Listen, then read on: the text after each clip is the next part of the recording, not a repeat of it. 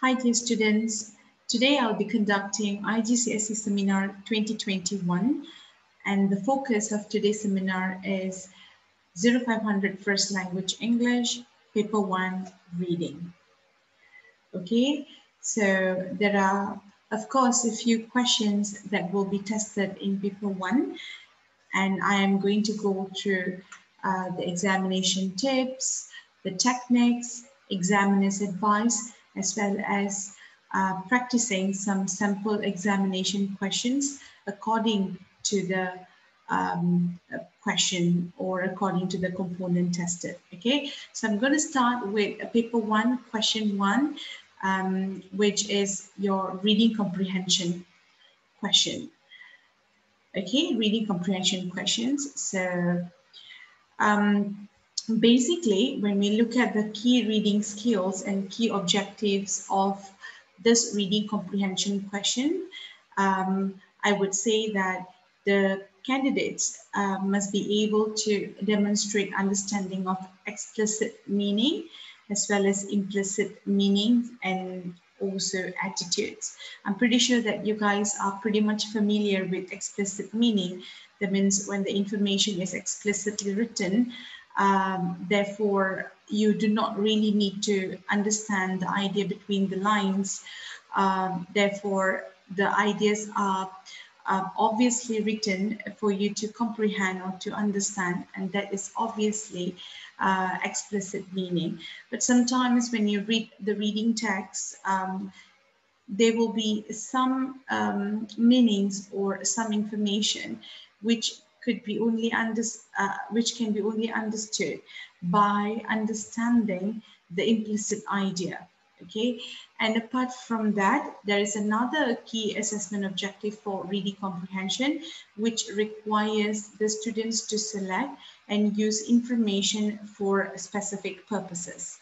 Okay, now let us continue with some examination techniques or perhaps some examination details on reading comprehension. So this reading comprehension questions are supposed to be uh, answered by responding um, to text A. Um, and basically there are five sub questions. That means you have a reading comprehension question 1A until 1E. That means you have five sub questions to be answered and then a total of 15 marks um, given for this reading comprehension questions, okay?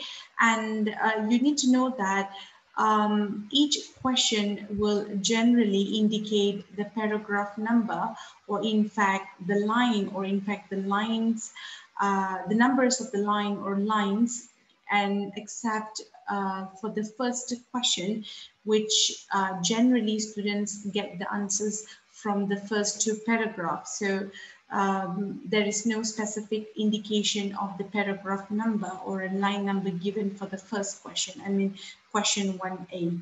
But for the rest of the questions, um, will be will be highlighting the paragraph numbers and also the lines, okay? So you need to understand that um, you have a series of questions in this reading comprehension component um, is basically structured to test the student's ability to understand both explicit information and also implicit information. And why these two um, skills are important, that means identifying explicit and implicit information so that the students could um, provide answers according to the nature of the question, whether to copy the answers directly from the text or whether they have to provide answers in their own words or even uh, or maybe the students might need to um, further provide inference uh, for the question given. Okay, and these are a few um, reminders or few points for the students to remember that um, whenever you see one mark question, uh, that means most probably the ideas are quite explicitly written in the text. That means you just need to copy and paste the answers directly from the text instead of providing further inference or, or putting the answers in your own words. So remember that one mark questions are generally uh, require you to write down answers directly from the text. And then whenever you have two to three marks, uh, therefore, you need to understand that uh, it could be a combination of both explicit and implicit details, or most probably you may be asked to provide an evaluation of how the point further, um, how the point furthers the writer's meaning. And generally, um, when you've been given with three marks questions, um, you will need to use your own words, okay? So always keep this in your mind that marks allocation generally indicates the number of specific points that you need to put in the reading comprehension, um, I mean, in answering the reading comprehension questions, okay? So um, uh, I'm pretty sure that um, you guys are familiar with uh, with this, okay? So basically, these are some of the command words that you will see in the reading comprehension questions in order for you to determine what sort of um, solution or what sort of skill that you need to apply in order to answer the reading comprehension questions so that you do not really misinterpret. Um, sometimes um, in case if the students fail to understand the nature of the reading comprehension questions, they may ended up misinterpreting the, the questions and therefore they ended up copying out um, the answers directly from text A when the question test uh, the student's ability to explain or provide inferences. So that's why I came up with this uh, table so that you could understand um, the the command words in the 3D comprehension questions and you can um, you can uh, you can determine what sort of um, skill or technique that you have to apply. So um, generally you will see these two key ideas uh, this command words give or identify. So where do you normally see these two command words say give and identify? Let me just uh, put it according to the um, questions here. So we have question 1A, and then we have um, question 1B, okay? So question 1C, uh, question 1D, and also question 1E, okay? So um, generally you see this question given identify for question 1A. So you see this in question 1A um, and also question 1C, okay? Um, 1C1 and 1C2. So you generally see this in question 1C1, okay? So whenever you see these two command words, give and identify, um, all you need to do is you have to look for a particular word or phrase uh, from the text, and then you have to straight away write, write it down, um, yeah, as the answer. So this is definitely an explicit question. Okay, now um, you may come across with this command word as well, whereby um, you may be asked to explain using your own words that the text means by, and then you give um, a word or a phrase. That means they generally give you a particular phrase and then you are supposed to translate the literal and inferential meaning of the given phrase. Okay, so this is definitely a translation question and you generally see this question, um, question 1b as well as question 1e. Okay, so whenever you attempt question 1b, and question 1E, you will definitely see this command word um, using your own words. Therefore, you need to translate the literal and inferential meaning. So this is obviously a translation question. And then finally, the last command word that you um, will find in reading comprehension questions is definitely the word explain. And um, when are you supposed to use this word explain? Um, in answering question 1C2. Okay, so when you're answering question 1C2, um, you generally say this um, word explain. Okay, you see a question, um, yeah, you will see explain. And um, this requires you to provide um, an understanding of both implicit and explicit idea. So most probably you are required to give a reasoning for a viewpoint or idea. So this is definitely a reasoning question. Uh, sorry, this is definitely a reasoning question. So you are required to write more than what is given in the um, in the text, basically. So we have covered question 1A here, question 1B here, question 1C1 uh, here, question 1C2 here, and then question 1D. Um, uh, sorry, I think we have only like one one question for question 1C. Okay, but we have two for question um, D1 and also question T2. So sorry for the um, wrong info. So I would like to amend it here. Okay, so we have question 1B, 1E, and this is basically um, question 1D2. Okay, so this is question 1D1. So there are about three sub-questions uh, we'll be focusing on uh, this command word give identify. And we have about two sub question uh, questions focusing on explaining using the candidate's own words. And then finally we have uh, only one question which focuses on the candidate's ability to provide inference. Therefore you see the command word explain here. Okay now, let me move on to a sample practice questions. Uh, let me share with you a sample practice question and also sample responses. Okay, so we have um, a text with the title Crazy Town and its surrounding or surrounds. I'm not going to read the entire uh, text.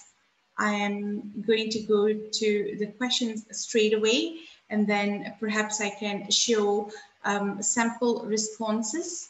Okay, response one, uh, which is not really uh, accurately done or excellently done by the candidate, but I have the second response here, which is somehow done pretty well by the candidate. So I am also going to share some feedback uh, based on both responses. So let us analyze the questions first. Okay, so we have give two facts about a Kratie according to the second paragraph. So um, this is not a past paper question. This is an exam style practice question. Therefore, you see um, the number of paragraph, I mean, the paragraph number given in the question, but generally when you do a past year paper questions, you don't really see the paragraph number given for the first sub question here.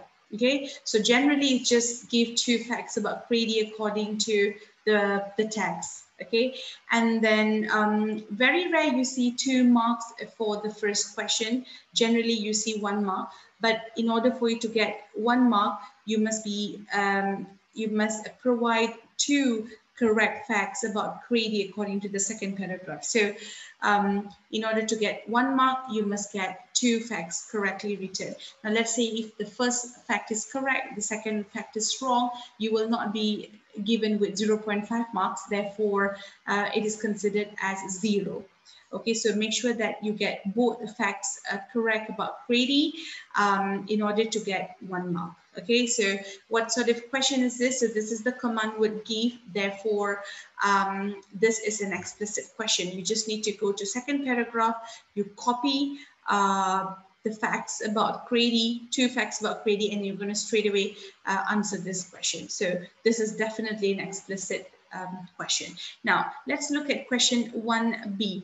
Now we have using your own words. So using your own words um, is definitely the command idea here. So we expect candidates to provide um, alternative um, synonyms for the phrases given. Okay, but there's something very important that the candidates need to understand here that um, each phrase here should have two uh, main ideas. That means you must provide two uh, ideas or two synonyms uh, pertaining the, the, the phrases given here. For an example, climaxes with the sight. So you're supposed to provide synonym for climaxes and another synonym for sight. um, and also breathtakingly scenic. So you have to give one synonym for breathtakingly and another um, synonym for scenic. So even though you plan to give uh, the answers in the form of an explanation, uh, but make sure that your explanation should cover both strands, not just um, a single idea from the given um, phrases okay?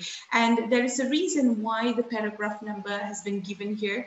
Um, here paragraph number sometimes they will give you the line number but if you do passive paper questions generally they will give you line numbers instead of paragraph numbers. Now the main reason is that so that you get the context correct um, because when it comes to providing synonym, there are too many um, synonyms that can be used in order to replace a given word or a given phrase. So in order to make sure the context is accurately written, um, therefore the paragraph numbers or the line numbers given will definitely be an added advantage for the candidate in order to understand the overall idea before providing uh, the translated answer.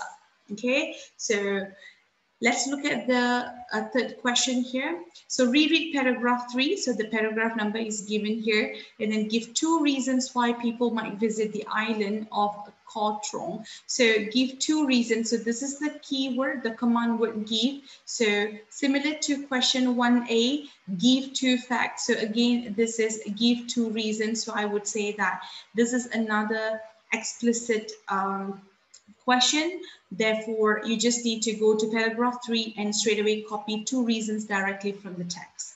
Okay, and then this is question 1D. So if you look at question 1D, you have um, two sub questions. The first one has the command word identify. Therefore, um, this is definitely an explicit question whereby you go to paragraph two and, and look for two things that tourists can enjoy in the town of Kratie. Now, generally, the first sub-question will be focusing on the on the firstly mentioned or firstly given um, paragraph, uh, and then the second one will be focusing on the second paragraph men mentioned here, like here, paragraph two. So in order to answer question B1, generally you will refer to paragraph two. Unless if you couldn't identify two things from paragraph two, then you can look at paragraph six for the answer. But in case if you manage to find two things that tourists can enjoy in the town of Kratie in paragraph two, therefore you may keep or you may uh, leave paragraph six solely to answer question D2. Okay, so let's look at question D2 here. Explain some of the different attitudes displayed towards dolphins. So explain some of the different attitudes. So here explain is the command word. Therefore, you are supposed to provide inference. That means you can take the points directly from the text and then you're supposed to uh, extend the point or somehow provide some sort of conclusion. So generally, um, the candidates will be given with three marks. Uh, as what I mentioned, this is not a passive paper question. This is basically an exam style practice question. So um, obviously, um, they, you could see some changes in terms of the marks, but I'm pretty sure that with my explanation, you could understand the actual format of reading comprehension component tested in your paper one. Okay, so um, the final question is using your own words, explain why some people may find visiting a Kratie and its surrounding too challenging. So if you could see three marks here and three marks here, so three marks, that means you have to look for three points from paragraph six, and then you try to provide like three conclusions or three different inferences. And the same thing goes here.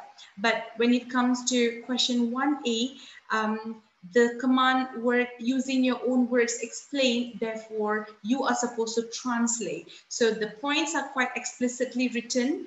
Um, uh, in a particular paragraph given like here, uh, it is an overall uh, idea, not a particular paragraph. But when you do passive paper questions, generally the paragraph number will be given. For an example, um, using your own words or, or, or reread paragraph um, seven and eight and then explain why some people may find visiting Kratie and its surrounding too challenging. So you just need to look for three, um, three uh, points um, why visiting Kratie um, and its surrounding could be challenging. And then you just going to, you then you just um, translate all the three points using a different word. That means you are going to paraphrase the three points without changing the original meaning. Okay, so um, perhaps I would like to check with you some uh, information or some, um, how to say, it's like a checklist uh, for you to understand reading comprehension questions better. So um, remember that you are supposed to use your scanning skills to help, um, I mean, to to select appropriate information from text A, and then you're going to identify literal and implied meaning. And at the same time, you're going to use your own words in order to prove um, a full meaning. So um, similar to the command words and, uh, and, and, and the function of the command words, I, I can see that um, the, the connection can be done here using the checklist given here. Okay, so let's try to explore the responses here.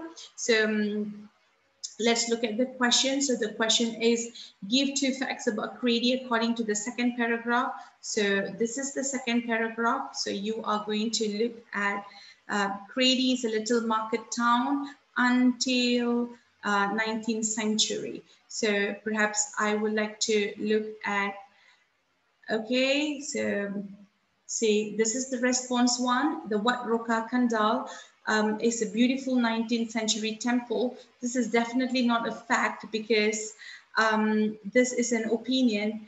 Okay, so I think that uh, this answer cannot really be used for the first uh, question uh, but we can obviously take Kratie is in the east of Cambodia. So talking about uh, facts, obviously you have to look for, um, you know, uh, we have to look for some facts, okay? Uh, so although the first point contains a fact, but the response also includes an opinion, and that's why we can't really um, accept this, okay? Um, the first answer. So um, let me straight away go to um, response to. So it is 348 kilometers away from Phnom Penh, and then it's what and it's Wat Roka Kandal temple dates back to the 19th century. So 348 kilometers, the 19th century. So if you go to the second paragraph, I'm pretty sure that you could find this two uh, facts about Kratie town here. So miles just changed to kilometer and then um, and then you can see that you have the idea of uh, this beautiful temple that, that, that dates back to the 19th century. So there are two facts explicitly written in paragraph two. Okay, now let us move on to the second question here. Now, so what do you mean by climaxes with the sight? So you can go to paragraph four and look for the idea uh, climaxes with the sight and then breathtaking listening from paragraph five. So let me go to paragraph four and let us identify this. Okay, so let us identify this. Um, one, two, three, four. Okay, yes. Um, see, uh, the 8.5 mile perimeter route takes you right around the island's edge. It's unchallenging and climaxes with the sight of a floating Vietnamese village. And then you have another um, phrase here, okay. Um, okay, breathtakingly scenic. So perhaps we are talking about the route to north uh, out of Kratie so breathtakingly scenic. So you're talking about how beautiful um, was the scenic, okay? So let us straight away go to the correct answer. So um, the most impressive view comes at the end of the tour. So uh, most impressive view comes at the end of the tour. So most impressive basically answers um, uh, climaxes with the sight. Okay, now breathtakingly scenic. Let's look at the answer for breathtakingly scenic here. Okay, so you can say that the landscape is strikingly beautiful. So breathtakingly scenic, strikingly beautiful. So you can straight away get uh, two marks for it. Two marks for each uh, question. Now, next, um, next question is, um, okay, let's look at the next question. Now, so you're going to reread um, sorry. Okay, reread paragraph three. So you're going to go to paragraph three and then you're going to look for two reasons why people might visit the island of Koh.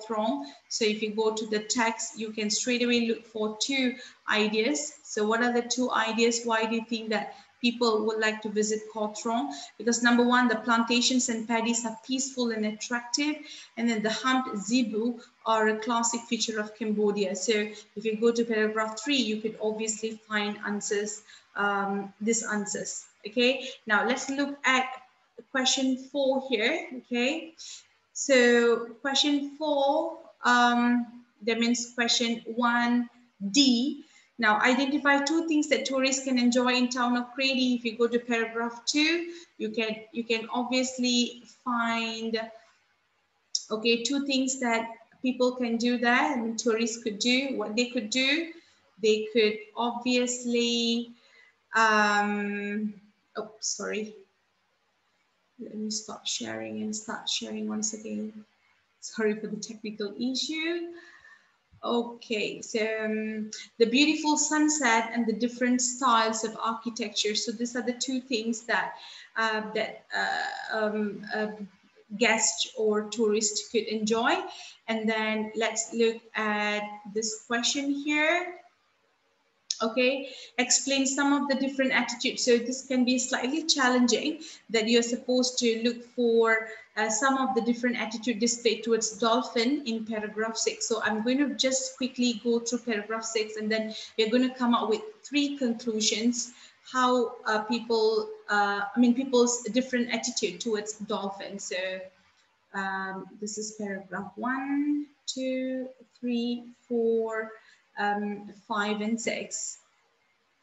Okay, okay, so closer to Kratie, the fishing village of Kampi offers boat trips to view Kratie's other aquatic marvel, the Irrawaddy dolphins. Though locals have long revered um, the dolphins, believing them to be half human, half fish, their numbers have diminished in recent years due to electric rods and explosives used for fishing. Um, don't expect any flipper style antics. This retiring creatures only a surface to breathe. So revered here uh, is obviously referring to something which is sacred and is being worshipped. So these dolphins are basically being worshipped and at the same time, um, in order for them to make their living, they don't even mind using electric rods and explosive, which could eventually kill the dolphin. So I would see a contradictory idea um, about how people um, um, view this dolphin. So how people basically, um, you know, uh, uh, look at the dolphins, okay? So the writer thinks the dolphins are impressive. The local share this opinion and respect the dolphins due to the mythical belief that they are half human. So this is one idea. However, fishermen don't appear to care about the dolphins as their fishing methods have caused many of the creatures to die. So um, they are quite impressive. So they've been worshipped or they've been um, highly respected as they are uh, the mythical um, um, animal or mythical creature. And then at the same time, uh, they also show some sort of um, uh, don't care attitude towards this dolphin because the fishermen basically just ended up focusing on fishing instead of like you know taking care of this dolphin so they may tend to use any sort of methods as long as they could get um, fish uh, i mean as long as they could catch uh, more fishes um, therefore, they couldn't really bother about the dolphins. Okay, and then finally, let's look at the last question here. Okay, so using your own words, explain why some people may find visiting Kratie and its surrounding too challenging. So if you go to, I mean, this is like based on the entire text. So let's look at the answer. So people might find uh, the visit too challenging because it is a countryside area that seems cut off from civilization and modern conveniences. And then the roads are badly constructed and this makes journey very uncomfortable. And some of the places to visit can only be reached by long bike ride, which some might find exhausting. And people might also find the weather too warm, especially in places where there is little shade. So I think more than three points have been given here. So I think this answer is definitely um, sufficient in order for the candidate to score a total of three marks. Okay, so you could also check your progress here. Okay, whether you have sound progress or excellent progress by looking at some of the uh, key point ideas. So in, in case, uh, if you think that you have understood this very well, so most probably you have acquired an excellent progress in answering reading comprehension question. Therefore, uh, it it can definitely show your ability to scheme, scan, and select um, to identify a variety of examples in the text. And then you could obviously explain the literal meaning using your own words. You can obviously infer and explain complex um, or uh, subtle meaning in the text. And then uh, it also shows that you have the ability to identify and explain attitudes in the text. And also you are very good at selecting information for different purposes. Okay, now um, let me continue with the uh, with the with the with the with the next question. Okay, so this is still paper one.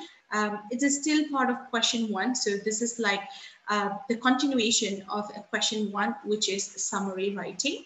Okay, so let me just share with you the assessment objectives of the summary writing.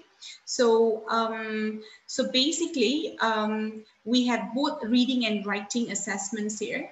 Okay, uh, even though it's a reading paper, but of course your summary writing, uh, the way you have written it will be assessed as well. So um, basically we give 10 marks for reading. That means you must have at least uh, 10 points uh, taken from text B. So remember to not accidentally uh, refer to a wrong text or uh, do not get confused. I know that there are too many components in paper one and there are three texts. Maybe sometimes students do get confused, but always remember that um, for summary writing, you are supposed to look at text B. You have to supposed to respond uh, to text B. So remember that you have to uh, you have to read text B, and then you need to get at least 10 uh, points in order to get 10 marks for your reading. And this 10 points could be explicit points, implicit points. And then um, we will see how well you could select accurate information according to the instruction given. And then um, when it comes to writing, it is all about how well you could organize your points. And then um, obviously you are required to uh, paraphrase the points without copying word by word from the text. Therefore, um, we will see the ability of you to, to vary a range of vocabulary without changing the actual context. And, and finally, your GPSS, your, your grammar, punctuation, spelling, and also your sentence structure. Okay, so remember 10 marks given for the reading, um, assessment objective, and you, you'll be given with five marks for your written expression. Okay, so let me straight away go to the marking criteria. Now, I do not want to go through the entire reading um, marking rubric here. I'm just going to look at level five, how to gain uh, highest mark or how to score highest level for reading. Therefore, Remember that um, when you read text B, you must be able to show that you have read text B effectively. That means you have comprehended the text uh, very well. Therefore, you ended up providing a wide range of relevant ideas and quite consistent and also well focused. And remember that the points are skillfully selected to demonstrate an overview um, of the text. Okay, so this is how you can get your 10 marks. And um, I normally um, ask students to select 10 correct points um, in order to get 10 marks here. Now let me move on to um, table B, the writing description, marking description. So how to get level three, the highest level, four to five marks. So whatever points that you have extracted from uh, text B related to the topic related to the instruction must be um, expressed clearly, fluently, and most most importantly, it, uh, with concision. So we will see how well you can organize um, the points according to an appropriate structure, or perhaps we will see the logical order of the points. And then we will see how well you can um, change or paraphrase the points from text B in order to put them in your own words. And then we will see how well you can select suitable vocabulary in order to paraphrase the points and whether the choice of your vocabulary managed to clarify the actual meaning given in the text. And then finally, your language accuracy, which focuses on spelling, punctuation, grammar, and also sentence structure. Okay, so let me straight away go to some of the key reading technical skills here. So remember that always on uh, always responds to text B, not text A, because uh, I know that some students can accidentally read different text, wrong text. Remember that reading comprehension is focusing on text A.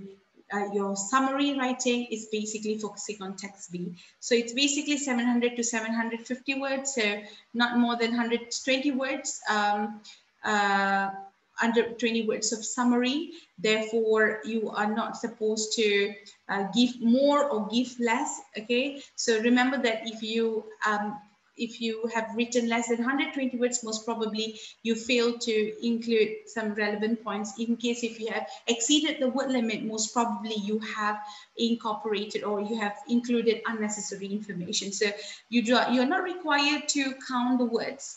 Okay, so just produce a summary that contains only information that are relevant to the topic. Make sure that you use your own words. And then if you come across with any uh, specific terminology, you are not really required to rephrase or substitute every single word from the original text. Okay, so this is just um, a simple technique. How can you maintain 120 words of summary? Now, let's say that you can get about 10 points from text B. Therefore, we can have average of 12 words for each point.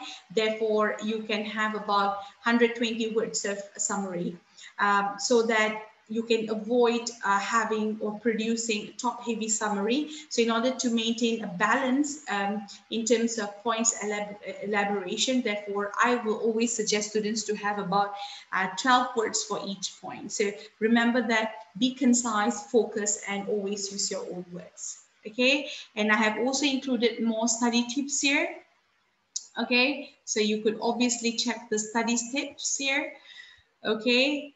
Um, and then um, perhaps I would like to touch on a few paraphrasing skills that students can apply uh, in order for you to gain mark for your writing um, assessment uh, uh, mark. That means in order for you to get that five marks, of course, paraphrasing technique uh, is uh, one key criteria.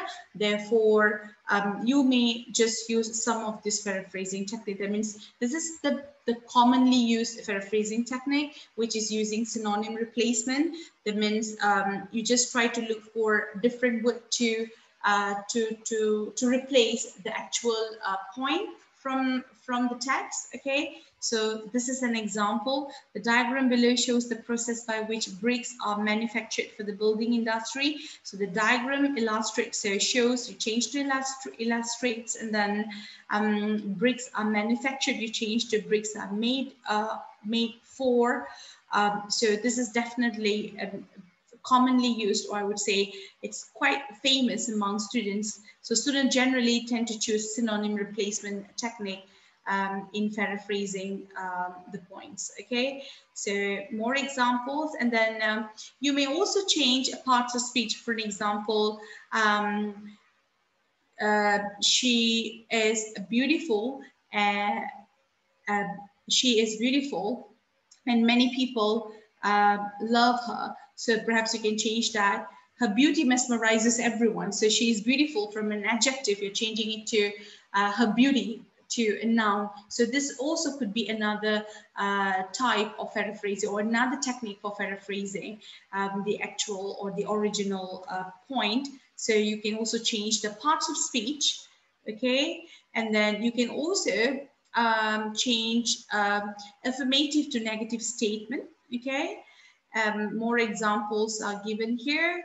And then you can also change the word order. Okay, so I, I just leave the examples here so that you could just go through this. And um, I would always suggest students to basically combine the techniques. That means you try to combine the techniques, do not just use synonym replacement. Perhaps you can do use synonym replacement um, with uh, active and passive, for an example, or you use synonym replacement with changing um, parts of speech so that you can provide or you can even produce um, even more effective um, uh, answers. Okay, and then um, a very quick um, review on uh, summary question. So this is an example of summary question. So according to text B, how can noise pollution affect the environment, wildlife and aquatic mammals here? So you know that uh, this is text B, so you're focusing on text B. And then um, when, when, when you see the word according, it shows that you're not going to provide your own ideas. Therefore, you are supposed to take the points directly from text B. And then noise pollution, environment, wildlife, aquatic mammals. So this should be, um, you know, the main idea. This is the instruction. So in what ways uh, this noise pollution could affect this three um, elements here or three main ideas here, environment, wildlife, and aquatic mammals. So any other ideas uh, apart from environment, wildlife, aquatic mammals should not be uh, taken. Let's say that, uh, let's say if in text B, you may come across with uh, the noise pollution effect on human, but you are not supposed to take that because the question covers uh, noise pollution effect on the environment, wildlife, and also aquatic uh, aquatic mammals. Okay, so you must use continuous writing, not a note form. So remember that you have to always maintain the word limit. So go maximum 120. And then uh, remember that 10 marks available for content. So you must have at least 10 points in the text. And then remember, in order to maintain um, the five marks, or in order to gain highest level for uh, language um, mark, I would suggest you to uh, focus on language accuracy, paraphrasing skill, how well you can logically organize your point, and, and also I always advise students to use complex sentences. Okay, so this is the sample text, but I'm going to straight away go to, um, okay, I'm straight away going to go go to the text, okay? So, so noise pollution is undesirable or disruptive sound that interferes with normal daily activity for humans and wildlife. So you're not going to take this point, obviously, because we're not talking about, uh, yeah, sorry, you can obviously take this idea uh, number one, it could be very annoying and disturbing. Okay. And then it is now also shown to have profound effect on nature and our environment. So it is definitely seriously damaging uh, the environment. Okay. And then you could find more points here. Okay, so this human disturbance affecting humans, but now studies are revealing how noise pollution is also causing harmful effects to plants, animals, trees, and marine life. Now, you may think that why, um, why we can't take some points from this part here, even though we could see some effect of noise pollution. For an example, um, you know, uh, like noise pollution is generated in numerous ways, including road, air, sea transport, construction machinery, domestic machinery, and then you have idea about uh, includes loud music in shops. But we are not really focusing this because we are not talking about human here. We're talking about how this noise pollution is basically affecting plants, animals, and trees. So this is some sort of uh, topic sentence, or I would say the thesis statement, which will help you to identify more points after this particular line here. Okay, so of course, um, so according, okay, so this is human disturbance affecting human, but now studies are revealing how noise pollution is also causing harmful effect to plants, animal, trees, and marine life. So we are talking about shipping and pleasure boats here. Okay, and then you talk about, um, okay, the point, human noise can have um, ripple effects on how long-lived plants and trees that can last for. Okay, so this is definitely long-term damage. Noise pollution could make long-term damage.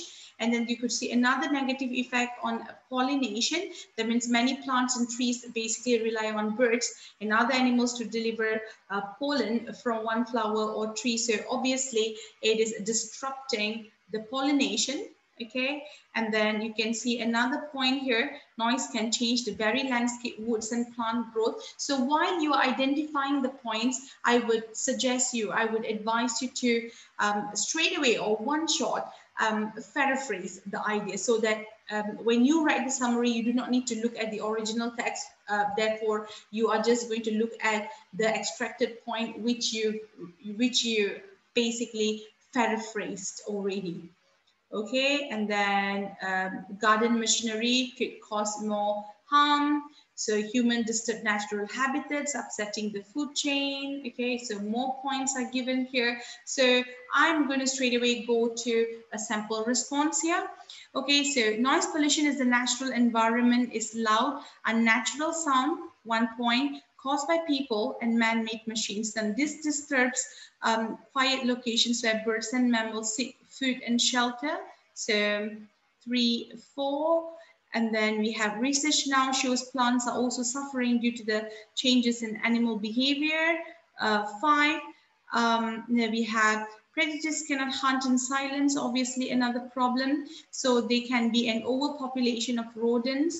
Uh, birds are prevented from finding food for the young, causing them to die. This is another point. Uh, garden and farm machinery is causing long-term imbalance in the food chain.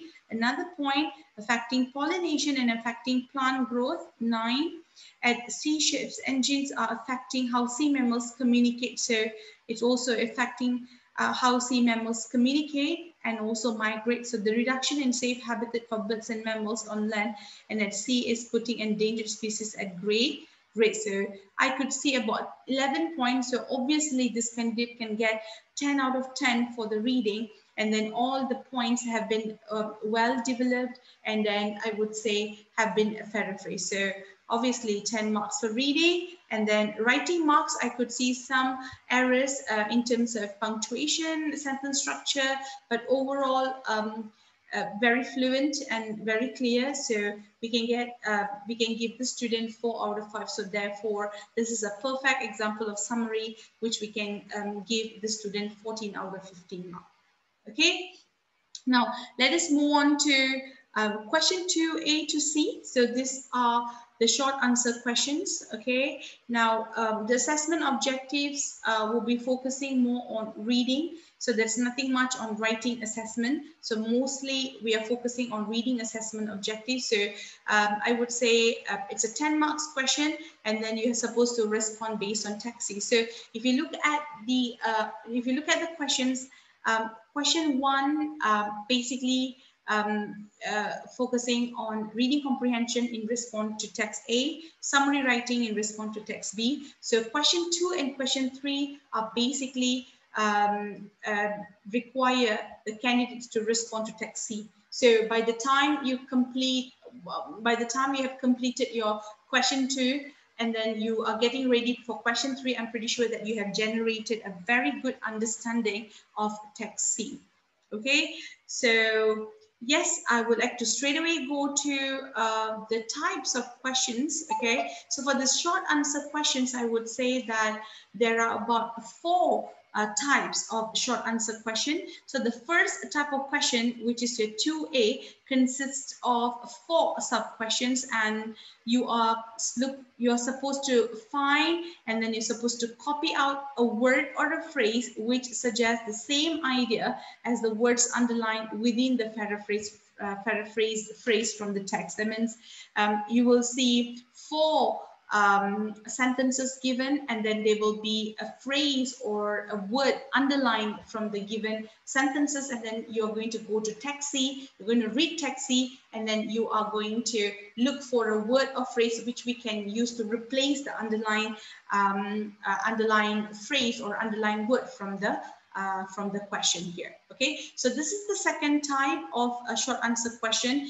which requires you to provide synonyms, a brief explanation for three underlying words from a short extract from the from the text. Okay, and then um, your 2C is all about you um, basically choosing one example from a short extract. So sometimes you see the same extract used for question 2B will be again used for question 2C but sometimes you see a different extract, but obviously whatever extract that they're going to give you, definitely taken from text C. So um, in order for you to get three marks for uh, question 2C, it's all about you selecting a correct example okay and then you're supposed to look for the effect so i would say that your question 2c is like a warm-up question before you attempt even more challenging question for 2d which is your language task so perhaps i can straight away share with you a sample question. See, um, of course, there are four sub-questions, but I am just giving you one example here. So identify a word or phrase from the text which suggests that the same idea as the words underlined or word underlined here. So here, his green was both timid and self-assured. So uh, uh, there are a few techniques that you can apply here. So the first technique or the first um, step is that number one, you need to understand the idea of timid okay you have to understand the idea of timid. Now number two you are look uh, you are supposed to look for the key ideas from the uh, question so that you can locate uh, uh, the, the key ideas in the given text. So um, his green was both timid and self-assured. So his green is something to do with his smile. So when you read the text you're going to straight away look at the uh, you're straight away going to look for the keyword smile. So here um, can you see this? The young man's hair was sunburnt looking, or rather the color of, uh, I don't see any point here, but I could identify the answer here. How I managed to identify this because the keyword smile is somehow related to the green and was both timid and self-assured. So I have shy, uh, and so here yet confident. So i would say self-assured is confident. So obviously uh, what would be a word that i can choose from this text in order to replace the idea? Timid definitely shy. So when you answer you just need to give your answer shy and then you will get one mark. So four questions similar to this pattern and you're going to get four marks for this.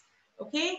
Now let me move on to the second uh, type of question tested, um, which requires you to provide synonym, that's it. So this is the extract given, okay? So um, she was not frightened, she simply felt, okay, she simply felt uh, a deep disgust and perhaps divined it or read it in her face for after staring at her a moment, he drew back and turned slowly away from the door. She crept to the window and saw his bent figure um, striding up the road in the moonlight. So there are three words underlined here. Generally, they will give you words. Um, very rare I see phrases given for this, uh, this pattern uh, or this type question.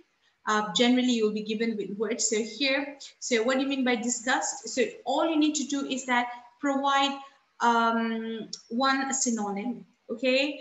And then, um, so these are some of the examples here, okay? And then divined, guessed, worked out, okay?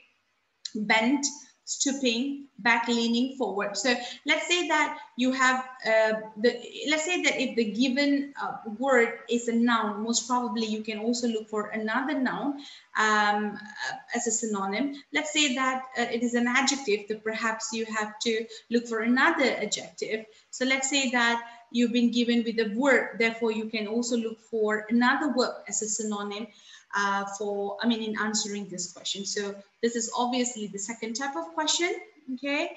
And then the third type of question, which requires you to provide one example from, uh, from the given extract. But remember that this example can be a word or a phrase okay and then there will be other key ideas um, for an example like this one here Okay, um, use one example from the text below to explain how the writer suggests charity's experiences and feelings. So um, the moment you have identified the correct example, you will be given with one mark.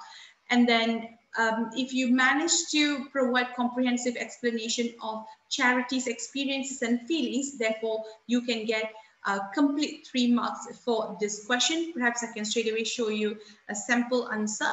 Now, so this is the text. Okay, sorry, I've stopped sharing it. Um, sorry for the technical um, issue. So this is basically, okay, the, the question. Okay. Sorry, I don't have the extract here. Okay. So um, Okay, now entered into the glacial twilight suggests that Charity has gone into the library while it's getting dark. The sun is setting outside and so there are likely to be shadows within the darkening room. Meanwhile, the adjective glacial suggests that the room feels icily cold. This may be both a literal low temperature, but also figurative. She hates the place so much that she feels frozen when inside. So that means um, this is the example selected from the given uh, from the given extract. The extract is not really here, um, but this is how you are supposed to answer it. So entered into the glacial twilight is one mark, and then you can see the explanation is quite comprehensive. So you have uh, both expl explanation focusing both on the experiences and also feelings of charity. Therefore, we can straight away give it three marks for this. So um, I'm just, uh, so I have another set of questions here, okay, taken from past year paper, okay? So if you could see that, just to show you the actual pattern, okay? Identify a word or phrase from the text, which suggests the same idea as the words underlined. So can you see that? So inform, plan, choice. So you're just going to go to text C and then you're going to straight away look for the answer. Okay. Unrelenting, affectionately, responsibility, Okay. Okay, me stop sharing and then continue sharing once again. Okay, so this is the text. So if you have free time, perhaps you can go through this. Okay, now, so I'm going to go through um, one one of the most challenging questions in paper one, which is um, the writer's task question, which is also known as writer's effect question. So the language task question is also known as writer's effect question. So um, remember that um, there are basic three steps. You're going to read the question, you're going to reread this uh, specified paragraph, okay and then you're going to select examples. So basically three imagery from each body each paragraph given and then you're going to straight away write the uh, response. That means how does the language work uh, based on the selected imagery. So 15 marks given. Now 25 minutes given for you to complete uh, the task okay? And then um, remember to choose powerful words and phrases. Uh, very important for you to, discuss connotation not just literal meaning. So you need to comment how imagery is created. So if whenever you're choosing an imagery always look for uh, words which can evoke a sensory details. Uh, perhaps imagery could be quite unusual interesting uh, where you can obviously show how uh, the language works okay? And then um, you have to always keep in your mind um, that whatever imagery that you choose your analysis of to show how the language works will definitely relate it to the tone mood atmosphere and also feelings um, related to the selected imagery. So try to link everything back to what is being described in order to come up with a very sophisticated response. So Okay, so these are a few steps and then I would always suggest students to spend some time to prepare or to plan your writer's effect answer. Okay, so I would say um, 10 minutes for you to plan. So out of like 25 minutes, you can spend about 10 minutes uh, to plan. Therefore, you can use about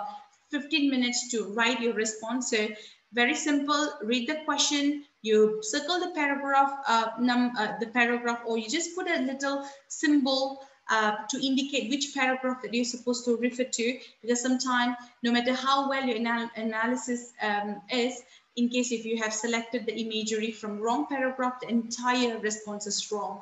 Okay, so just need to understand the overall idea of the paragraph. That means what's happening in the paragraph, the tone, the feelings, uh, who basically involved in the paragraph, what happened so that you can generate a better understanding. So, and then an overview statement is very important. This is like a topic sentence or an overall atmosphere mood of the paragraph so that you can stay focused um, so that the choice of your imagery must be related to the overview statement, okay, or whatever that you provide should basically uh, focus on the positive diction or the negative diction as per stated uh, in the general effect of the paragraph, okay? And then you're going to underline anything interesting that creates imagery, and then you're going to go back and take the best three in each paragraph, and then you're going to explain how, or I would say what each of the imagery say, or what sort of uh, connotations that you can make, uh, the implicit idea, and what kind of image that you could create. Okay, so I'm going to straight away go to, um, okay, I'm going to straight away go to the, okay, now remember that um, make sure that you choose correct example, to correct imagery. So if you feel like the imagery or the choice of, of phrases and words fail to evoke your sensory details, therefore you have not selected imagery at all. Remember that imagery must definitely help you to uh, imagine. If you can't really imagine, therefore, uh, you have not selected strong imagery, okay? Know, sometimes even when you see phrases and words uh, contain some simple uh, adjective, can be treated as imagery, but in case if they're too uh, uh, lame or perhaps it's not really helping you to create stronger imagination, therefore I would definitely suggest you to choose a better imagery because choosing accurate or choosing suitable sophisticated imagery is actually part of the marking rubric as well. Okay, so clear, highlight the keywords, phrases in the code, and then define the keywords, and then you're going to analyze the keyword. Uh, we are going to look at what does it mean, and then what does it make you think, and then what sort of atmosphere does it create, and then we're trying to link it to the overall text. Okay, so I have a sample question here. So this is basically a 2013 uh, paper, okay?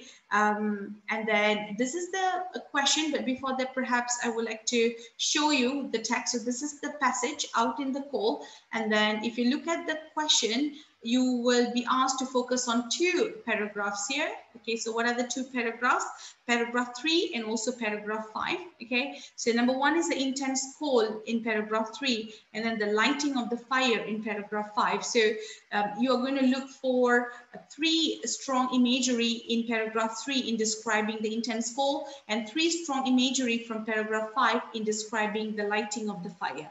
Okay, so remember the top tip, you will be given clues about what the focus is in the question. So this will definitely help you to make your choices as well as explaining them pretty well. Okay, so remember, choose three examples of words or phrases from each paragraph. Now I'm going to straight away go to paragraph three. So one to three. So this is paragraph three. And I'm going to look for some strong imagery describing the intense flow. Okay, now um, he had set off at 7 a.m. and by 11 had covered half the distance. Seated on a fallen tree, he unmittened his right hand, reached inside his coat, fished out uh, a biscuit. He had barely chewed the first mouthful when his numbing fingers, I could, I, I managed to find one. So numbing fingers is definitely a strong imaginary, uh, uh, imagery. Close your eyes, you can obviously imagine numbing fingers, the, the kind of sensation that the narrator felt, okay? And then warn him to put his mitten on. So warn him is definitely a personification. So this is definitely um, can be taken as um, as, as one of the imagery. So this he did surprise at the bitter swiftness. Obviously you can choose this. The frost had bitten. This is another personification. Generally human bite, animals bite, but when you are trying to give this animal uh, or human um, action or human quality to something which is not living, like in this case, you're talking about frost, therefore, this is definitely a very strong imagery. This is a personification. So he could feel himself beginning to chill. So he leaped to his feet and ran briskly up the trail. Now he made him warm again, but the moisture he exhaled crusted his lips so crusted his lips could be another strong imagery, icy crystal, um, miniature glacier, um, and then a sensation abandon his face, and then burn with the returning blood. So I would say there are lots of, I would say more than three strong imagery could be found in paragraph three. So all you need to do is that you need to choose the best three. Okay, so remember you are done reading a paragraph three, and then I would always suggest you to come up with an over overview or a general effect before you start writing a full analysis, okay? So can you see that? This paragraph is about the intense effect of the cold and the subsequent pain caused. So we see the way in which Tom struggles to keep warm against uh, the extreme cold, okay? So here okay if you read the second part of the text okay so this paragraph describes the fragile nature of the fire as well as the delicate uh, focus uh, efforts needed to keep it going. I can straight away show you uh, the imagery like here um, uh, description about the fragile nature of the fire.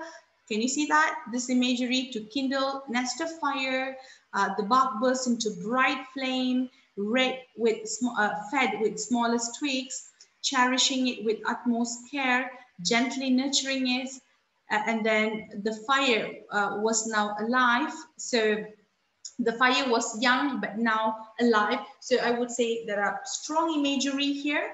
Okay, so once you're done with that, you just need to select the best three imagery and then try to put some keywords. That means whatever that comes into your mind about the imagery, that means you want to uh, describe about um, the overall atmosphere, overall mood. What does it mean? What does it describe? What does it present? Therefore, you just need to come up with some key ideas. I'm not going to go through the whole thing. Perhaps I can share with you um, some here. For example, numbing fingers. Obviously, you're talking about uh, the loss of sensation there. He, the writer couldn't really feel his fingers hard to move, loss of warmth. So cold is basically taking over. And then um, if you could see frost had bitten, it's some sort of attack. The frost is actually attacking the, the writer, so providing wound and it's quite vicious. So uh, it's basically a personification referring to um, the frost as a, as, a, as a vicious enemy or, or a predator. So try to come up with some keywords. I would suggest you to have five to six keywords. And these keywords could be the literal meaning, could be implicit meaning, uh, could be connotations, I mean shades of meaning. It could be words related to feelings, atmosphere, mood. So as long as you have about five to six keywords um, related to uh, the imagery selected here, I think you can obviously use them in constructing an effective response. Okay, so remember three times of each, okay? You can put quotation mark and then the explanation of the word and phrase and then the effect, the analysis and how you can link to the whole paragraph. So I'm going to straight away share uh, with you a sample response here, okay? So this paragraph is about the intense effect of the cold and the subsequent pain caused. So if you could see that uh, intense cold subsequent pain, um, in which Tom struggles. Tom is the writer to keep warm against the cold. So this is the general effect. So this is something that I will always ask the students to write before start uh, before before start analyzing the language in detail. So so basically the word numbing shows there is no feeling in his fingers. This suggests that he is losing warmth and control as the frost sets to work on his exposed flesh.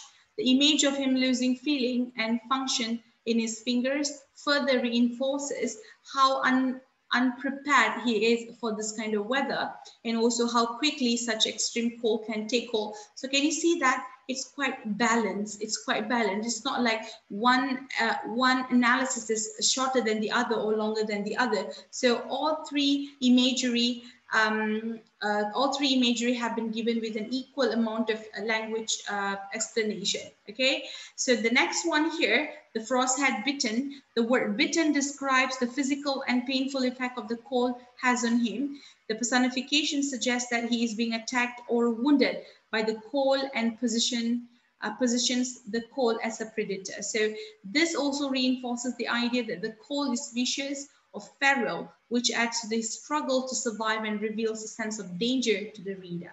Okay, and then finally, miniature glacier is a, uh, so the cold described as having formed a mound of ice on his face the use of glacier describes how his face is now reflecting the icy landscape around him and suggests that it is now becoming a part of him. The fact that his um, features now reflect the landscape around him highlights the fact that he's losing his struggle against the cold and is changing shape as his body reacts to the elements. Can you see that? It's a perfect um, way of writing um, the analysis for the imagery, um, numbing fingers, um, frost had bitten, and also uh, miniature glacier. Okay, so these are some of the guiding questions. Uh, and then the structure of your answer. That means you have the quotation here, quote, and then you explain the word, and then um, you are writing the effect and analysis, and then you try to link it to the whole paragraph. So these are the keywords uh, as how, as I mean, the keywords that we have discussed in the previous slides. Okay, so I have given you some examples of tips there. Perhaps you can read it later. And then let us move on to the last um, section or the last part of paper one, which is an extended response question. So what are we looking at today? We are looking at how to answer extended response question. This is the um, highest mark um, component um, tested in paper one, so 25 marks. So in order to get the 25 marks, you have to spend 45 minutes to write, and then you are going to spend about 20 minutes to basically plan uh, your answer, a plan or draft before you start answering. So remember that it's a reading question, but since that you are writing, obviously whatever you write, uh, your imagination, your thought, everything is being assessed here. Therefore, marks was also given for writing assessment objective. Okay, so remember there are a few uh, things that you need to understand. So basically, these are the possible forms you uh, you'll be uh, you will be um, required to write a letter. It could be formal, informal. It could be a journal, journal entry it could be an interview, magazine article, newspaper column, or even a speech. Okay, so this is definitely the overview of the question. So you're going to read text C and then you're going to write your response based on text C. Do not copy sections because copying big chunks from the original text will not help you to gain mark. So your voice has to be realistic and then you're supposed to use correct perspective and that's where I will always encourage students to practice the FAPP.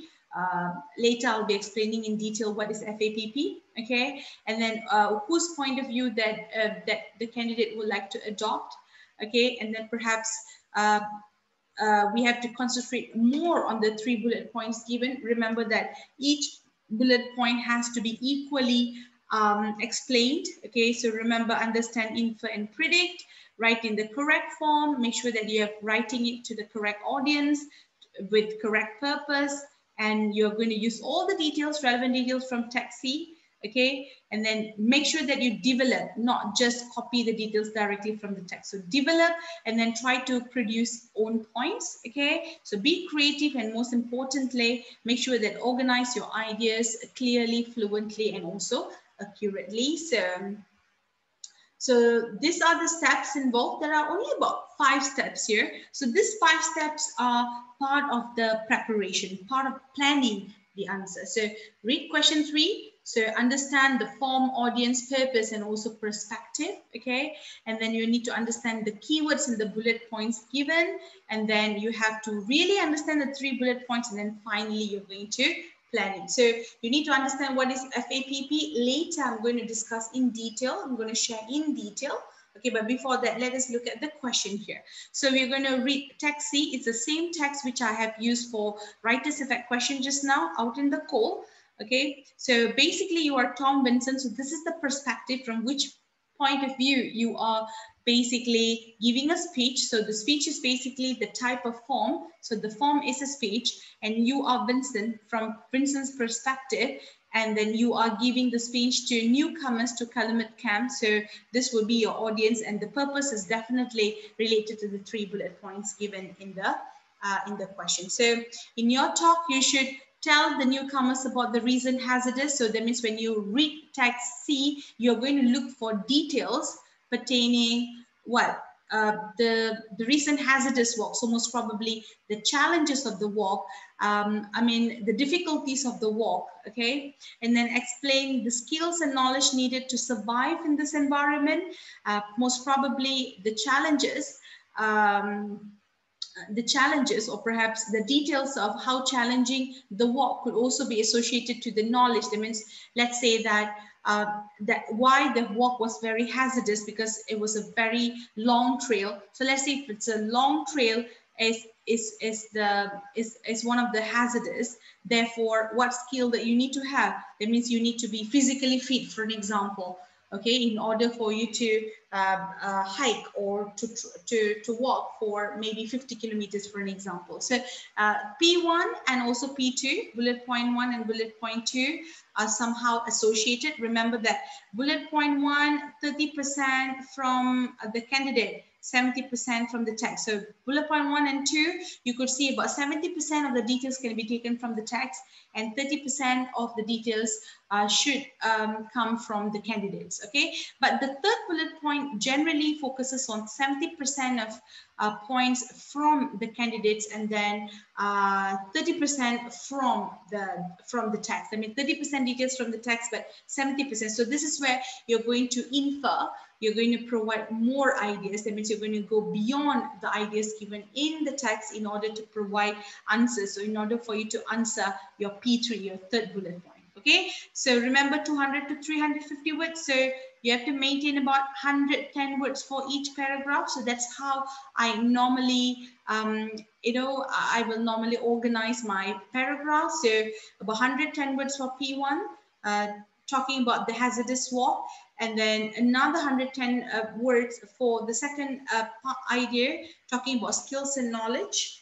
And then another 110 words for um, sharing what sort of um, what sort of things that you have learned about yourself from this experience. So yourself means we're talking about Tom Vincent here. So who is Tom Vincent? You are Tom Vincent. Okay, clear?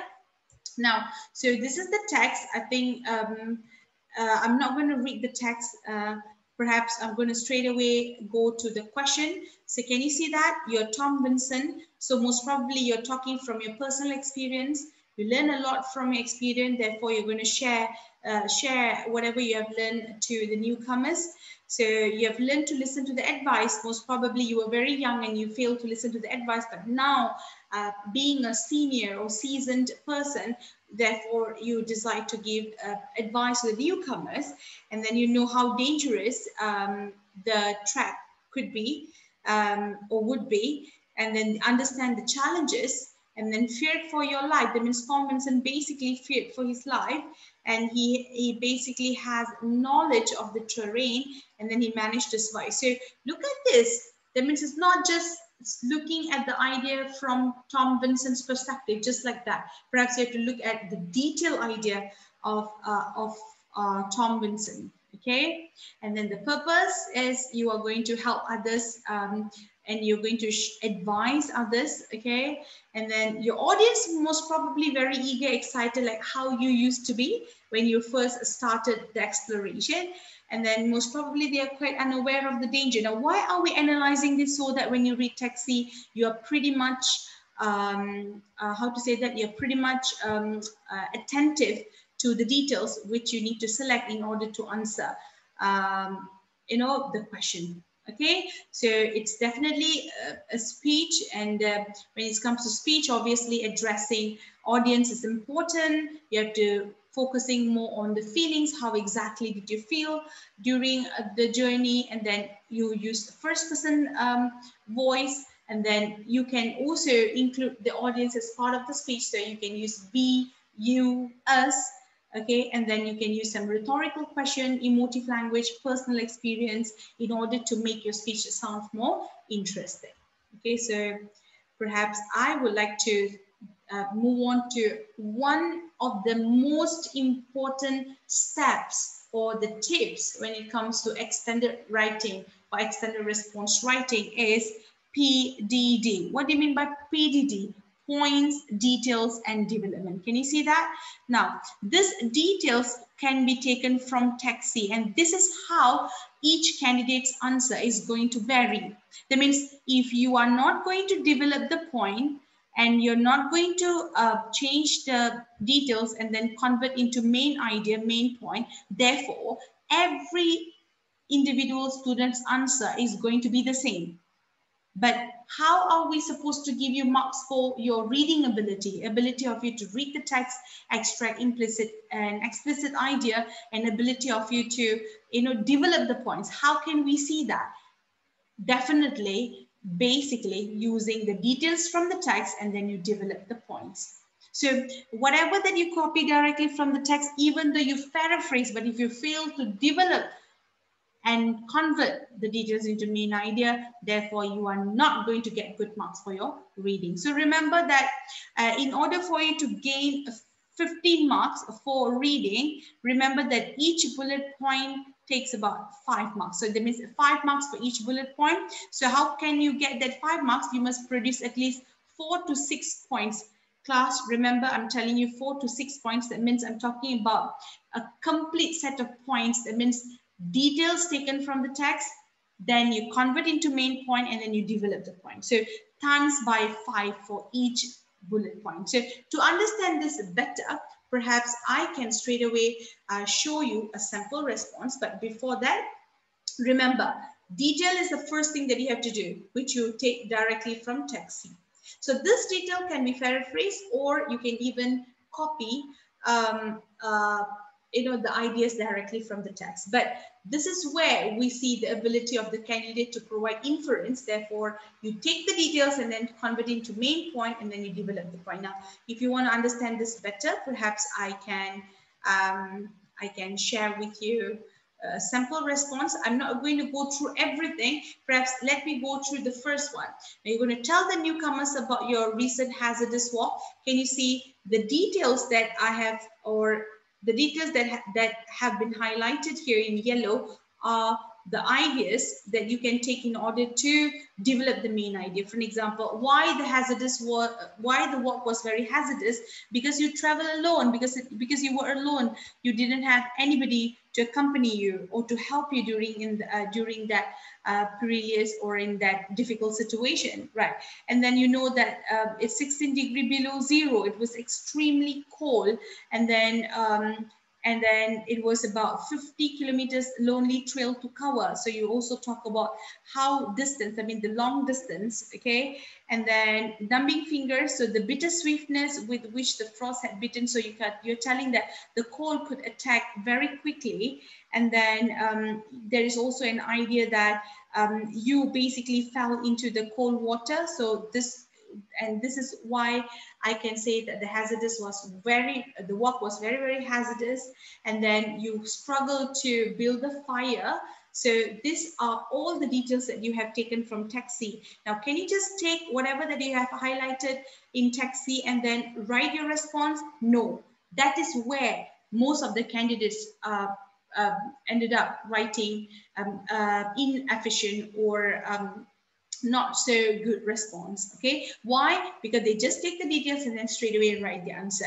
Remember, where is your point? Where is your development of the point? So this is where we see how can we develop it. Can you see this word P here, this letter P? P means is point. So alone is the detail and travel alone is one of the reasons why the work was very hazardous.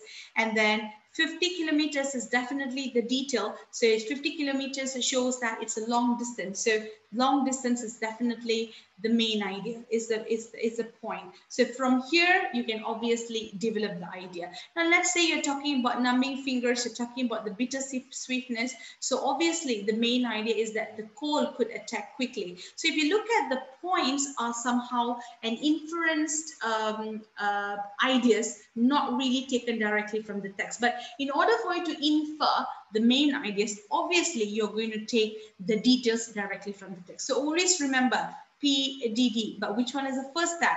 D is the first step. The detail is the first step. So you highlight, you take all the details and then you're going to convert the details into main idea and then you're going to develop the idea. So if you look at the details that are that have been highlighted in green, supposed to be, um, you know, the knowledge and skills, okay? The one that in blue is supposed to be uh, the the lesson learned.